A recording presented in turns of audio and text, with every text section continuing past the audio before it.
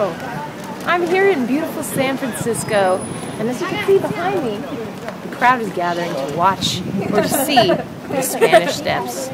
It might be the curviest road in San Francisco, or perhaps the world.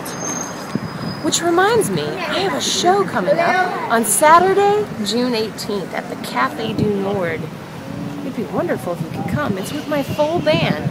Also joining me is the Welcome Mat and Acacia. It's going to be a great night. Make sure to get tickets in advance. It might sell out.